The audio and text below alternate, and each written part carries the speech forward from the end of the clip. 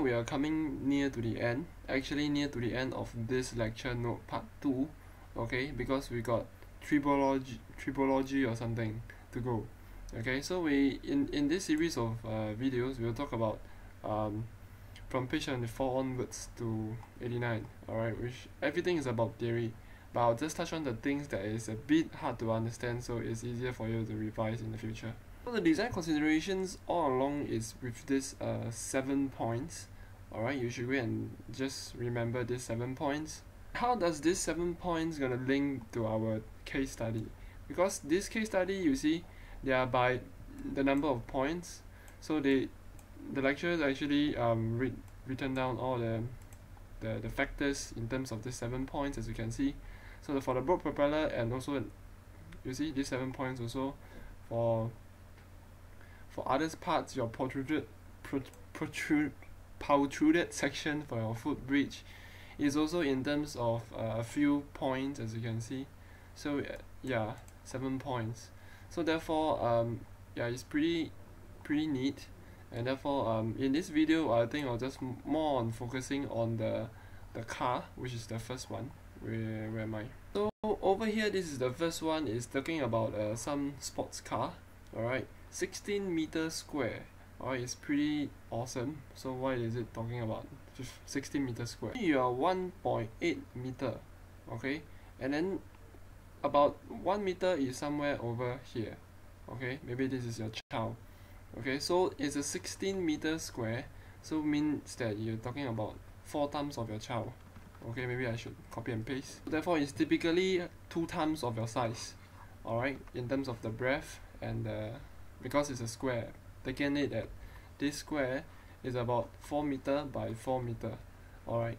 So therefore um, this is a 4 meter for example a 4 meter by 4 meter carbon carbon fiber.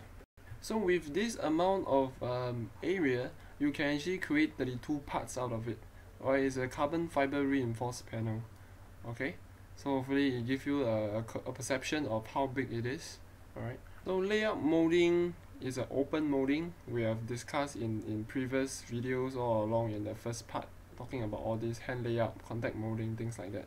Go through and over here it's a fine 0.5 millimeter surface veil fabric. Alright so what is this fabric? Not wrong actually this is the the type of carbon fiber the veil fabric because veil itself if you were to type veil is this type alright? So you are going to wedding or whatever. So it's a very thin layer of cloth. So it's a very also so a veil fabric for a composite I would believe is a thin layer of a composite okay? With acrylic paint for for A class surface finish I think you you know yourself. Alright let's talk about the loading path alright? So the first one actually is talking about the shape uh, size and finishing so therefore it's also corresponding to, to, the, to this thing. Next is the loading path alright? And therefore is the loading path. So what it's talking about is the sentence impact loading causes local shear elimination between laminate and core. I don't even know what the hell is going on alright? So I will believe that Im the impact loading will cause certain local shearing between the laminate and the core. So the word elimination may be maybe a typo error I think so what it means I would believe is that for example because this car is made of a sandwich panel this is the face this is the core this is another face so impact loading may be impact onto this surface alright where um, some shearing over here um, if I were to draw it like that is it better yeah. so normally if you're maybe this is the the car car front this is part of the car front for example if I were to zoom out a little. So this is the car body something like that. Yeah this is the wheel you know. So this is the car body lah for example. Okay so this this part over here if it's being hit alright you may actually cause the the the laminate to actually shear. Okay that's what I mean that's what it means I believe between the laminate and the core. So I believe that if you were to hit it at this point or, or somewhere other points alright then it may actually cause shearing between the, the laminate and the core. Maybe maybe the face this is all this is the face maybe the core may actually shear I don't know. Alright this is the face. So it may actually shear in this direction. Or maybe shear in this direction so when it shear in this direction the the laminate may may may move in this form you know? I don't know what I'm talking actually. But yeah hopefully you get what I mean. So it's somewhat yeah impact loading. I think you just remember yourself lah. Then panels panels together with glass screens. I don't even know also what the hell. So where is the panel? I also don't know but anyway it, it contributes to the tensile stiffness tension stiffness. So when you try to pull alright it's very stiff against pulling alright? So if it's very stiff against pulling then this means that um, it is pretty strong I would say alright? Because it's, it's very stiff. So when you try to pull it it's very hard to pull or you, you it's very hard to actually pull out the panel I think. So I believe it, it, it, it, it kind of helps because the glass screens I believe is the, the screens of the, the car. I also don't know how it's being put together. Yeah that's that's the, the art of it. So I'll leave you to think about it. And then bidirectional is two direction fabric. Alright so it's not unidirectional so it's being pulled in two directions. It, it, it, it is designed to take in two direction forces. Okay yeah um, this part is a bit sucks for me. And then determinations of strength and stiffness. So how do they do it? They use this the, the things that we have discussed. Uh, previously you can just type all this in in my playlist. You, could, you should you should find all the, the necessary stuff. Failure criteria I think we don't need to go through is in the, the safety factor. Alright. So F is equals to 10 why is it so? Alright because it, if you see when you're designing a car you're actually taking you're actually concerning of the impact load. So whenever you design a car or design whatever vehicles uh, you should take note of uh, it's more on the Im- impact load side. So when you're talking about car impact load because you're gonna crash sometimes car will be there will be car clash. So you need to you need to take in this consideration.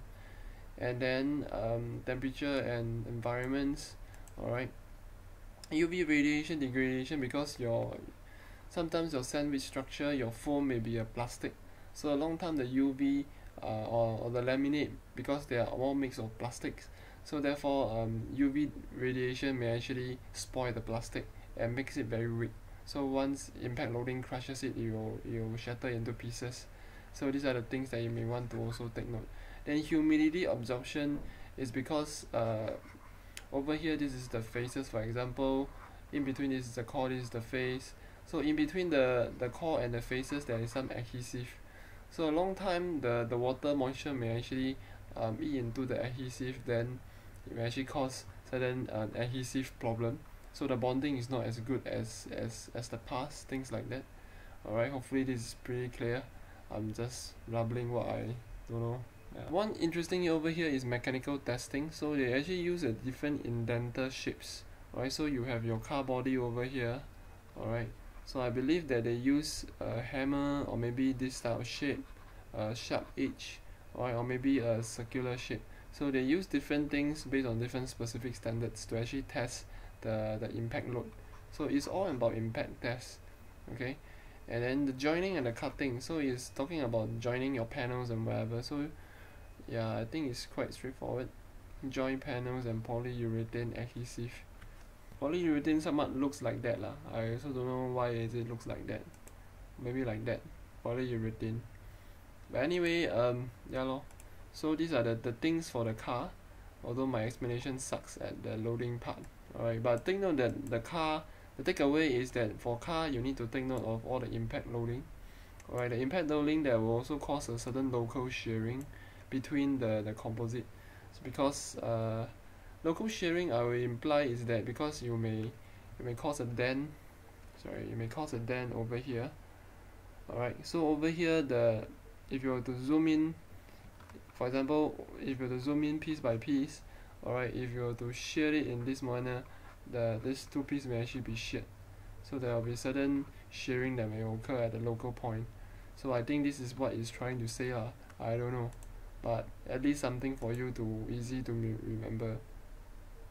And then uh it was it would be advisable if you were to read the the note the reading materials which is page 20 26 alright? They actually take note of the the prices like 160 euro per meter square alright? So it's quite of a quite expensive. So we have 16 one one one vehicle just now you as you see in in the slides is 16 meter square right? Yeah, yeah 16 meter square. So 16 times 160 you have about 2000 2560 euro alright which is about 5000 SGD so actually quite cheap ah. Yeah 32 parts.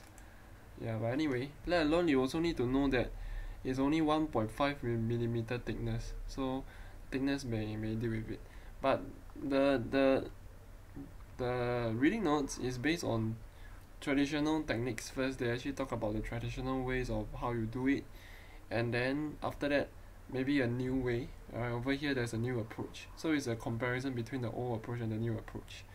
And then um, some other informations of how how the supplier because you have a supplier so how the supplier will stand up. So they actually select different suppliers. And therefore the supplier one the S_P is uh, some some some companies they actually provided uh, a supplying kits. Alright so they actually supply these kits to actually help them to to protect the core. Alright to protect the core. So because of a certain issue I think. Yeah. So to prevent any delaminations of water ingression or whatever if the core is left exposed so they they they do they have certain kits to actually touch up your your the parts. Alright so it's, it's pretty pretty uh, awesome I guess. So it's pre prevent any water moisture between the core and the face. Alright this is the faces this is the core. So there's some water water ingression may go into the, the composite if the face itself wear off. So there are some touch up kit to, to, to check it out. Things like that uh, is, is yeah. And then this is the the your your carbon fiber alright your C_B_S I also don't know your car body sheet okay alright. So um as you can see this is a resin this is a core this is a resin frame so it's a like it's a sandwich structure. So above the sandwich they still have a certain dry fiber I think it's to protect protect the thing and then you have a certain surfacing frame to also further increase the protection and a more surface to, to prevent any water or whatever I think so all in all is is that of the manner. And uh, the traditional method is that the because there is a as I say there is traditional techniques and and the new approach. So the why traditional techniques sucks is because um you show the print of the weave fabrics. Alright because your carbon fiber is weave. Weave meaning that you're gonna weave it like this and then you have some this this type of straps so normally your car would have would when you see your car the inner inner seats when you sit normally when you sit in the back seat your your door over here there's some there's some this type of thing coming out. So this is how the the weave fiber carbon fiber actually is. So therefore um it's exposed to temperatures and humidity which is somewhat not very good also. And then things like that. So and also these are the things that they, they actually talk about it. Alright to to enhance your understanding in case that in the future you might need it. Yeah and uh, so over here panels can be either autoclave or oven cure and then such as doors and bullets are produced in less than an hour including vacuum bagging or things like that. So these are the the processes that they actually took in the new approach. And uh, I yeah just read you just take your time to read lah. Just pause the video and check it out okay? Which is it's just uh, quite educational. But uh, in case yeah.